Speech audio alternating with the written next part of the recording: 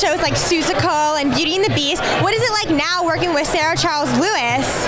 It's the best. I mean, Sarah's my best friend in the show. We spend every moment on stage together, and I think I remember being young on Broadway and having some of those relationships with adults who did not treat you like the kid in the cast, who saw you as a young artist. And those relationships changed my life and are one of the reasons that I'm doing this now. So get to pay it to get to pay it forward to Sarah is first of all easy because she's a complete doll and is really meaningful.